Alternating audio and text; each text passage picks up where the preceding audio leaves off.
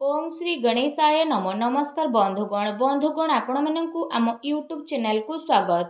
ବନ୍ଧୁଗଣ ଆଜିର ଏ ଭିଡ଼ିଓରେ ଆମେ ଆପଣମାନଙ୍କୁ କହିବା ପାଇଁ ଯାଉଛୁ ଆଗାମୀ ତିନି ଦିନର ସ୍ଥିତି ଆପଣଙ୍କର କିପରି ରହିବ କେଉଁ ପ୍ରକାରର ଏ ଆଗାମୀ ତିନି ଦିନକୁ ଆପଣ ପ୍ଲାନିଂ କରିବେ ତା ସହିତ ଯଦି ଆମେ ଆପଣମାନଙ୍କୁ କହିବୁ କେଉଁ ସବୁ କ୍ଷେତ୍ରରେ ଆପଣଙ୍କୁ ଫାଇଦା ହେବ କେଉଁ ସବୁ ଜିନିଷରେ ଆପଣଙ୍କୁ ବିଶେଷ ରୂପରେ ସାବଧାନତା ଅବଲମ୍ବନ କରିବାକୁ ପଡ଼ିବ? ଆପଣଙ୍କର ଲଭ୍ ଲାଇଫ୍ କିପରି ରହିବ? କ୍ୟାରିୟର କିପରି ରହିବ? ବିଜନେସ୍ ଆଉ ବ୍ୟାପାର କିପରି ରହିବ? ଏବଂ ତା ସହିତ ସ୍ୱାସ୍ଥ୍ୟର ମଧ୍ୟ ମହତ୍ତ୍ୱପୂର୍ଣ୍ଣ ଇନଫର୍ମେସନ୍ ଆମେ ଆପଣମାନଙ୍କୁ ଦେବୁ। ଆଉ ଏ ଭିଡ଼ିଓ ଶେଷରେ ଆମେ ଆପଣମାନଙ୍କୁ କିଛି ଉପାୟ ବିଷୟରେ ମଧ୍ୟ କହିବୁ ଯାହାଦ୍ୱାରା ଆପଣ ଏ ଦିନକୁ ଆହୁରି ଅଧିକ ଶୁଭ ଓ ମଙ୍ଗଳାଦାୟକ ସାବ୍ୟସ୍ତ କରିପାରିବେ। ତେଣୁ ଆଗକୁ ଭିଡ଼ିଓ ଆରମ୍ଭ କରିବା ପୂର୍ବରୁ ଆମର ଆପଣମାନଙ୍କୁ ରିକ୍ୱେଷ୍ଟ କି ଯଦି ଆପଣ ଆମର ଏ ଚ୍ୟାନେଲରେ ନୂଆ ଆସିଛନ୍ତି ତ ଚ୍ୟାନେଲକୁ ସବସ୍କ୍ରାଇବ୍ କରନ୍ତୁ ଏବଂ ସାଙ୍ଗରେ ନୋଟିଫିକେସନ୍ ବେଲ୍କୁ ମଧ୍ୟ ଅନ୍ କରନ୍ତୁ। ଯାହାଦ୍ୱାରା ସମୟ ସମୟରେ ସହ ଅପଲୋଡ଼ ହେଉଥିବା ନୂଆ ନୂଆ ଭିଡ଼ିଓର ନୋଟିଫିକେସନ୍ ଆପଣଙ୍କୁ ମିଳିବ। ଆସନ୍ତୁ ଜାଣିବା କିପରି ରହିବ ଏ ଆଗାମୀ ତିନି ଦିନ ଆପଣଙ୍କ ପାଇଁ ବିଶେଷ ଭାବରେ। ଯଦି ଆମେ ଆପଣମାନଙ୍କୁ ବିଶେଷ ରୂପରେ କହିବୁ ସବୁଠାରୁ ପ୍ରଥମେ କହିବୁ କି କ'ଣ ଆପଣଙ୍କ ପାଇଁ ଏ ତିନି ଦିନରେ ପଜିଟିଭ୍ ରହିବା ପାଇଁ ଯାଉଛି? ଯଦି କହିବା ତ ଫ୍ରେଣ୍ଡସ୍ ଏ ଦିନରେ ପ୍ରକୃତି ଆପଣଙ୍କୁ ଭରପୁର ସାଥ ପ୍ରଦାନ କରିବ।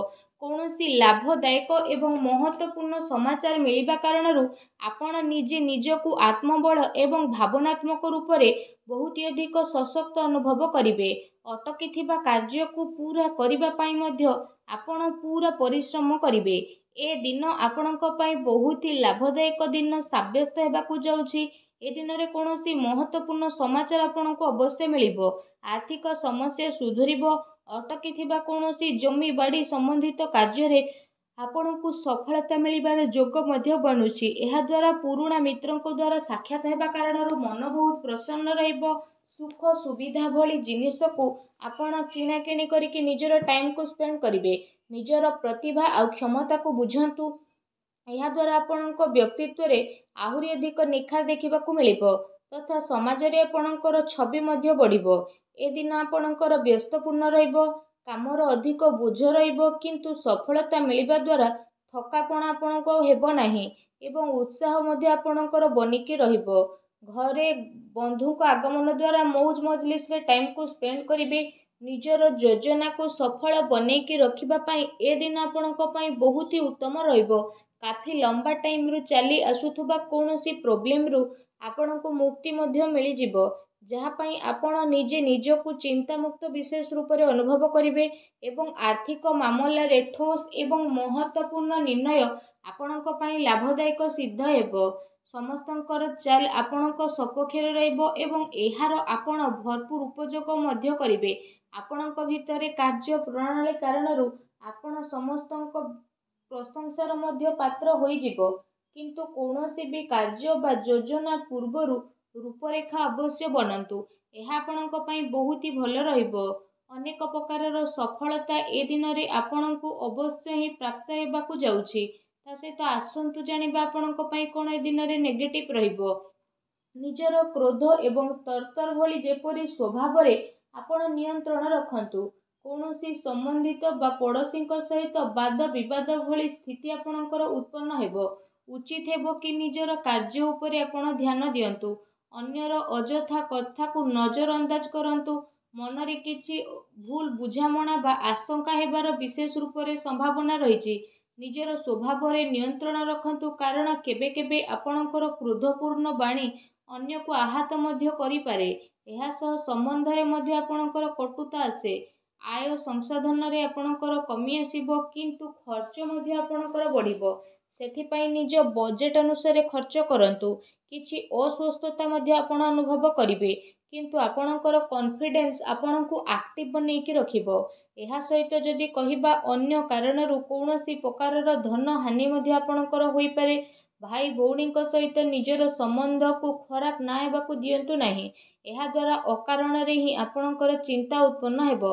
କୌଣସି ପ୍ରତିଦ୍ୱନ୍ଦ୍ୱୀ ଜଳନ ଭାବନା କାରଣରୁ ଆପଣଙ୍କ ପାଇଁ କିଛି ନକାରାତ୍ମକ ବାତାବରଣ ମଧ୍ୟ ଅନୁଭବ ହେବ ଏବଂ କିଛି କଥାକୁ ନେଇ ଲଢ଼େଇ ଝଗଡ଼ା ମଧ୍ୟ ଆପଣଙ୍କର ହୋଇପାରେ।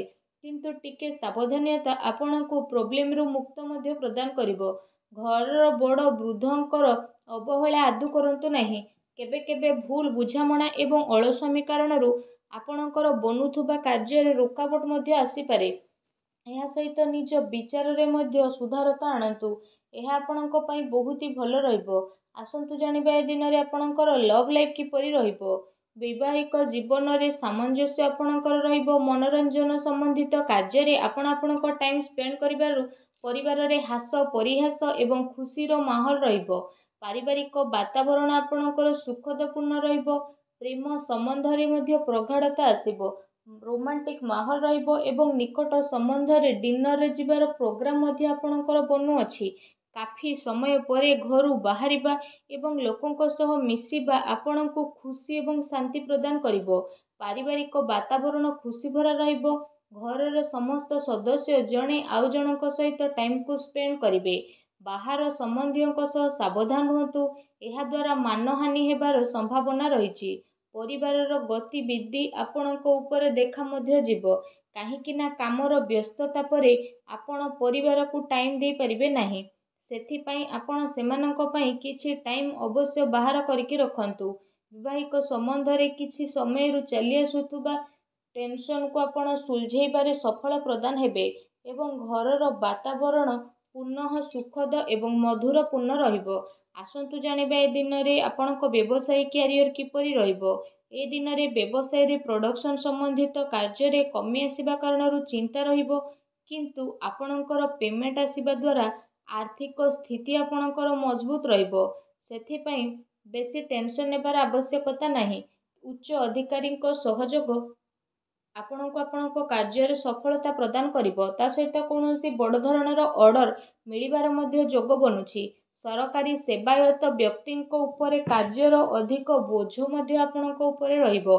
କାର୍ଯ୍ୟ କ୍ଷେତ୍ରରେ କୌଣସି ନିର୍ଣ୍ଣୟ ଏକା ନିଅନ୍ତୁ ନାହିଁ।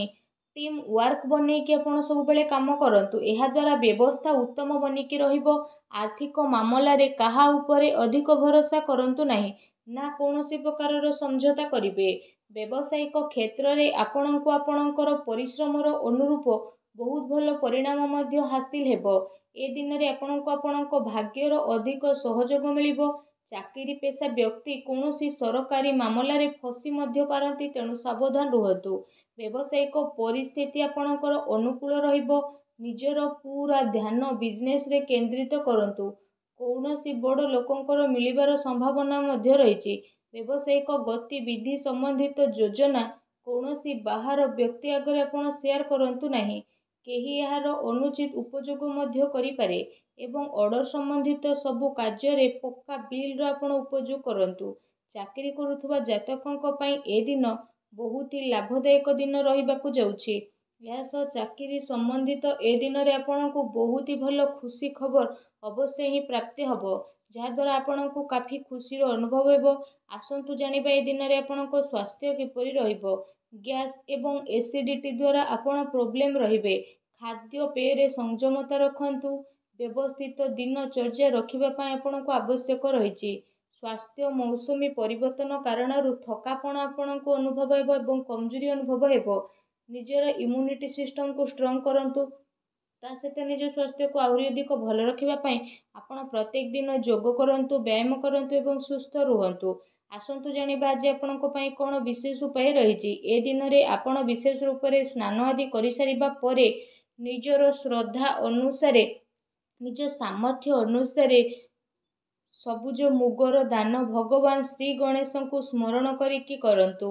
ଏପରି କରିବା ଦ୍ୱାରା ଭଗବାନ ଶ୍ରୀ ଗଣେଶଙ୍କ କୃପା ପ୍ରାପ୍ତ ହେବ ଏବଂ ଆପଣଙ୍କ ଜୀବନର ସବୁ ଦୁଃଖ କଷ୍ଟ ଦୂର ହେବ ସବୁ ବାଧାବିଘ୍ନ ମଧ୍ୟ ଦୂରେଇ ଯିବ।